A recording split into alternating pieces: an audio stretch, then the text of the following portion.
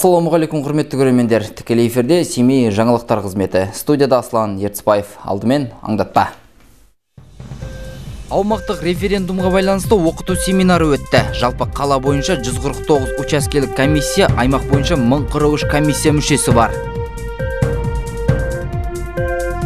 Жолдарды жөндеу бойынша ауқымды жұмыстар атқарылуда. Осы уақытқа дейін мүлдем асфальтталмаған көшелердің жолдары қалыпқа келтірілуде. Жаңа қаланың ескі келбеті. Невзоровтар отбасы атындағы мұражайда фотокөрме ашылды.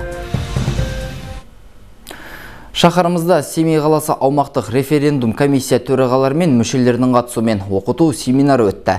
Жалпы қала бойынша 149 учаскелік комиссия аймақ бойынша 1043 комиссия мүшесі бар. Толығырақ алдағы сюжетте референдум өтетін 5 маусым жақындаған сайын семейліктердің қатысуымен түсіндіру жұмыстары мен семинарлар өткізілуде.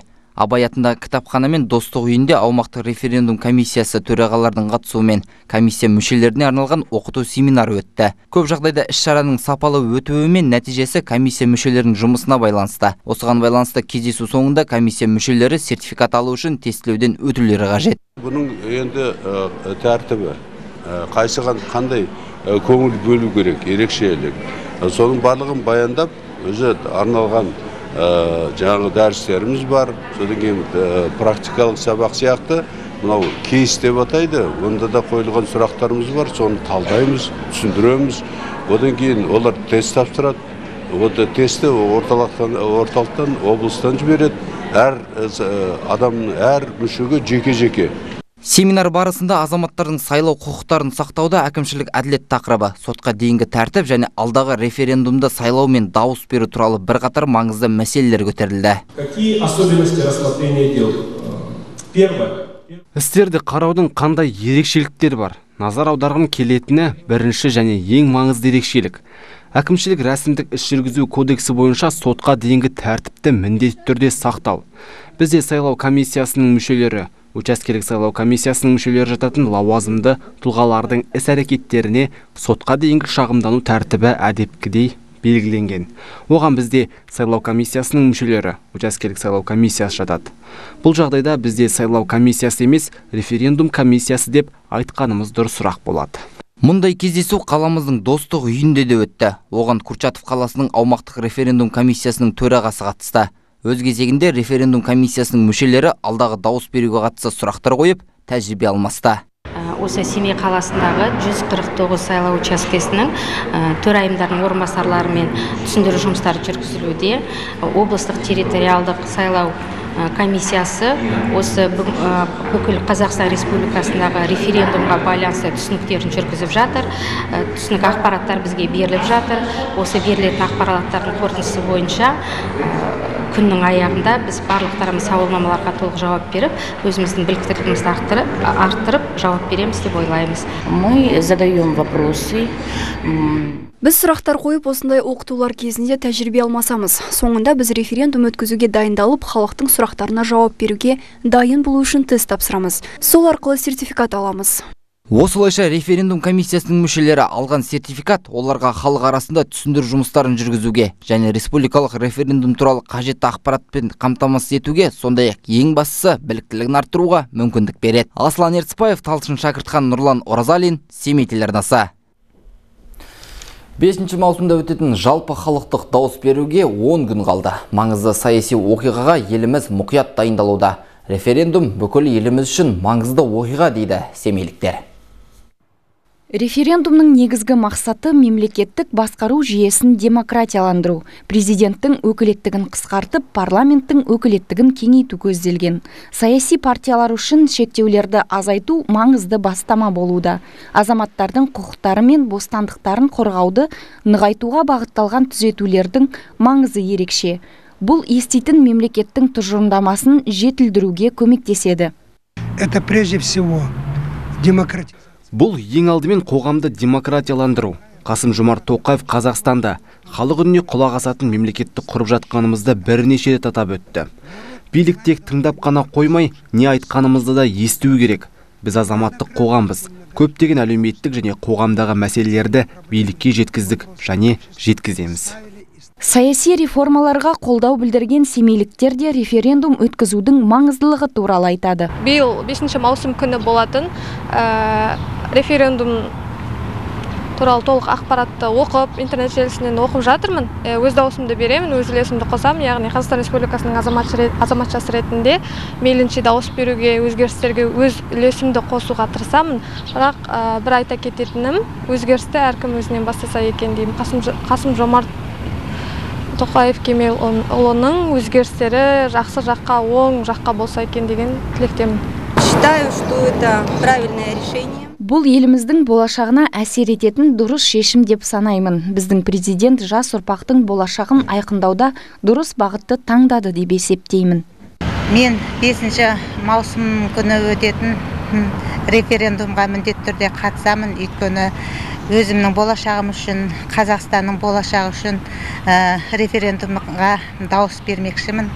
Бұл қазақстан конституциясына түзетулер енгізіледі. Соған өз ойымды осы қазақстанның азаматы ретінде өзімнің дауысымды ә, құқығымды білдірмекшімін. Естеріңізге сала кетейік референдум 5 маусым күні өтеді. Әрбір азамат тұрғылықты жеріндегі учаскелерде дауыс бере алады. Өз учаскеңізді білу үшін референдум нүкте гов нүкте kz ресми сайтына жеке сәйкестендіру нөмірлеріңізді енгізсеңіз болғаны. Айнұр қасым эльмира жүрсінбекқызы бақытгүл қазиз нұрлан оразалин семей телеарнасы.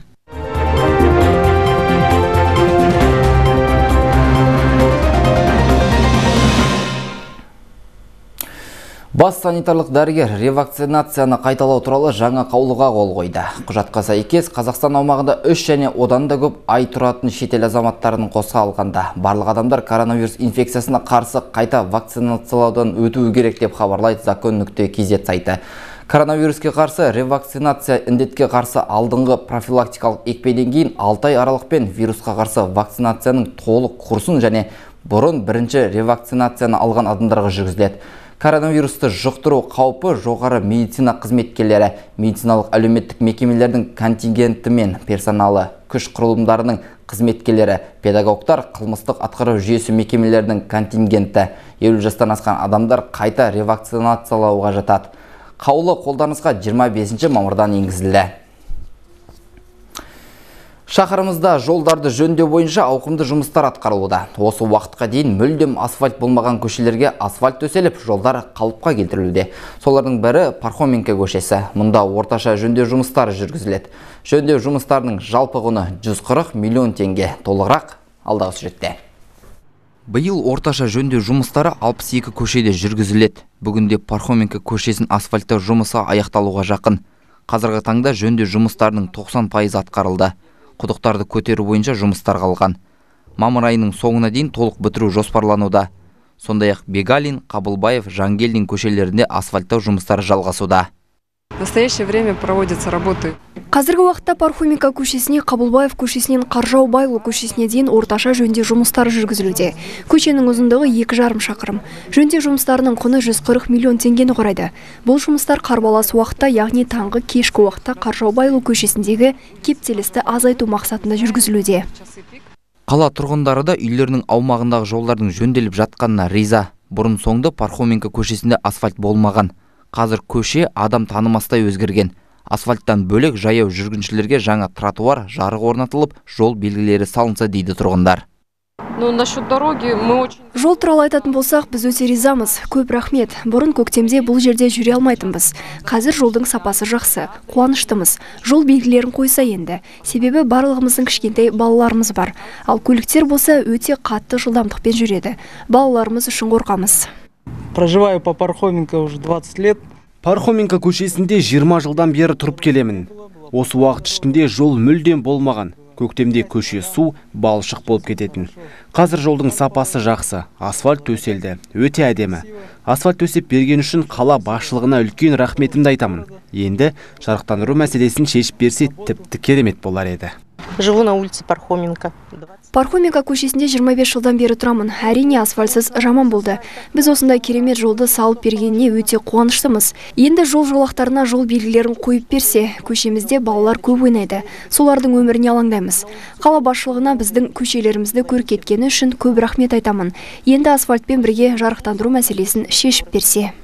Тұрғын үй коммуналдық шаруашылығы бөлімі мамандары жарық орнатып жол белгілерін қою үшін жобалық сметалық құжаттама әзірлеу керектігін айтады. Аслан Ертісбаев, Әділжан Бейсенғазинов, Семей телеарнасы.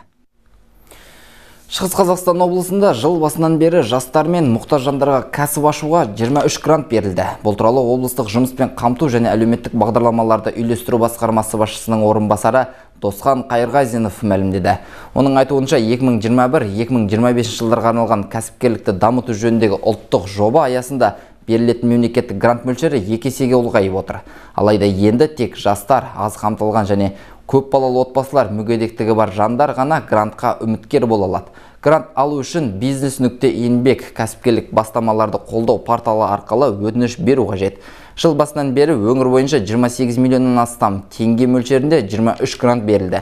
Оның ішінде 6 грант жастарға, біреуі атаулы әлеуметтік көмек алушыға, біреуі мүгедектігі бар адамға, 15-і көп балалы отбасыларға беріліп отыр.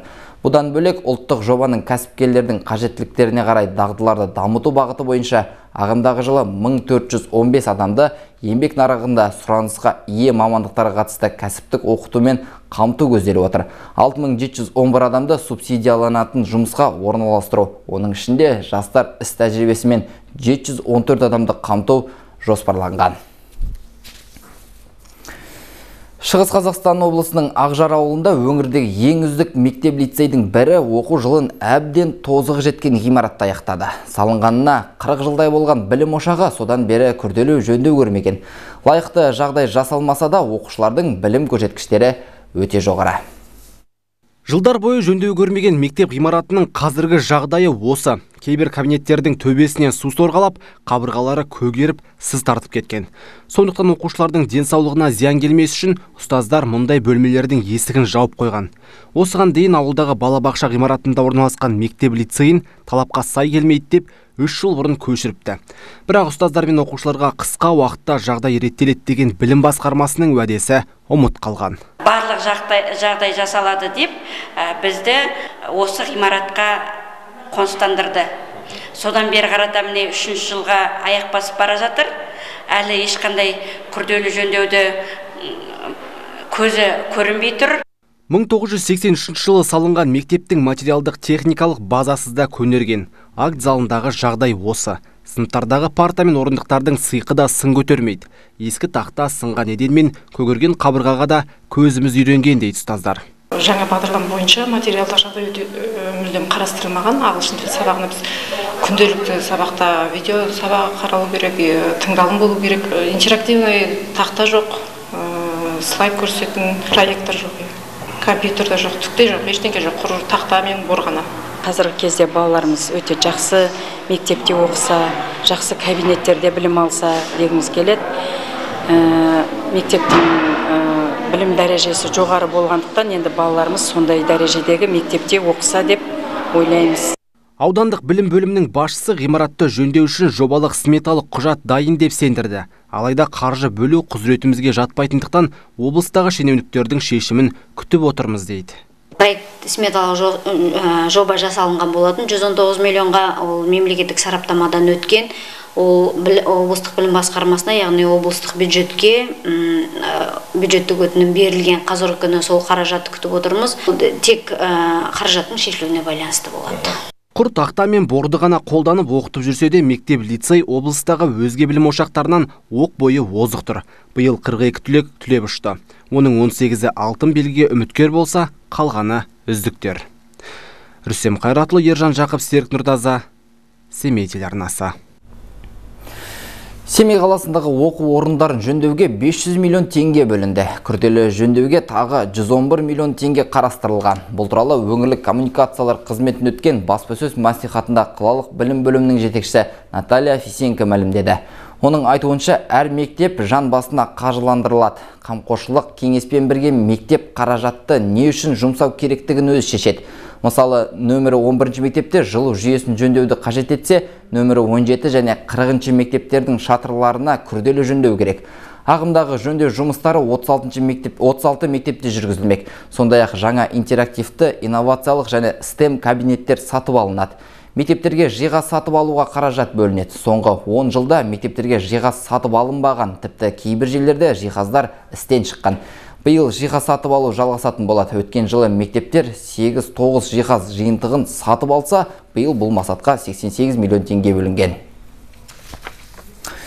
Хабарымыз жалғастырамыз. Семей қалалық полиция басқармасы есірткі қылмысына қарсы күрес бөлімінің қызметкерлері 45 жастағы қала тұрғынының есірткі заттарының заңсыз айналыммен айналысатынын анықтады деп хабарлайды Алтай Ньюс.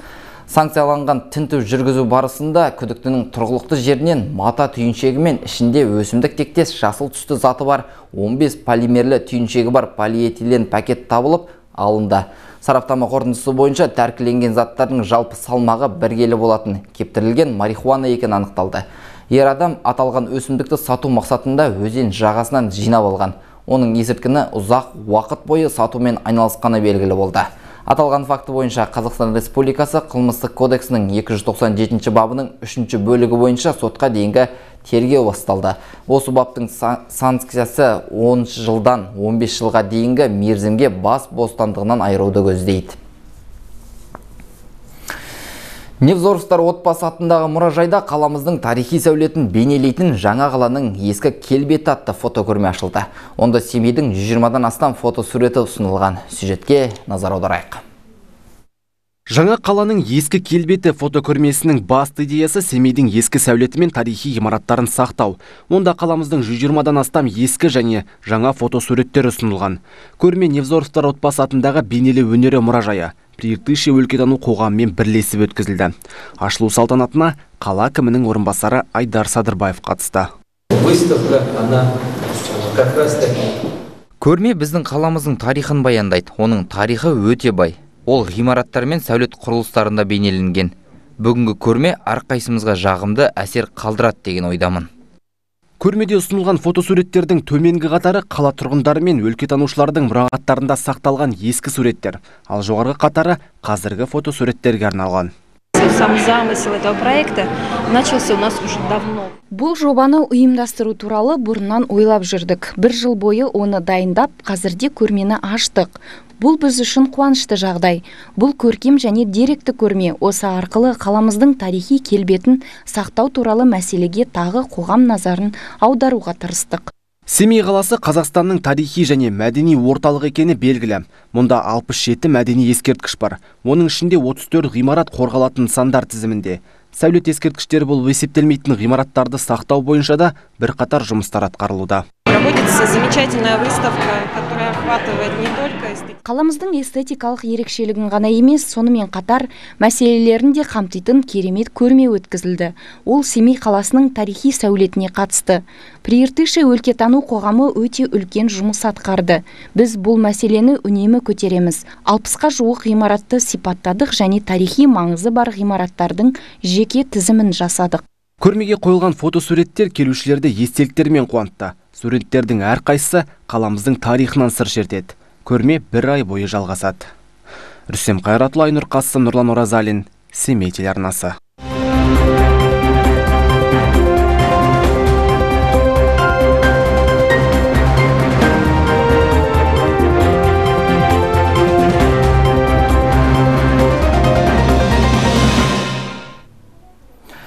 Хабарымызды спорт жаңалықтарымен қорытындылаймыз. Семейде 4 маусым күні Абай облысының құрылымен бүкіл халықтық референдум, сондай-ақ Елімай клубының қайта жаңғыруына арналған футбол фестивалі өтеді деп хабарлайды Қазақпарат.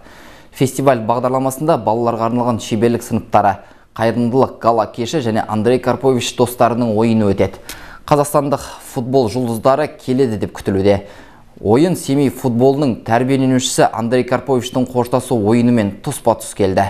Елімай командасы ардагерлер командасына қарсы ойнайтын болады. Мерекені ұйымдастырушылардың айтуынша Семей Қазақстан футболының отаны. Оның қаламен және жаңа аймақты таныстыратын өз командасы болуы тиіс. Фестиваль аясында балаларға арналған шеберлік сыныптары Спартак стадионында, турист қонақ үйінің жанындағы спорт алаңында, сондай-ақ арена спорт кешенінде өтеді.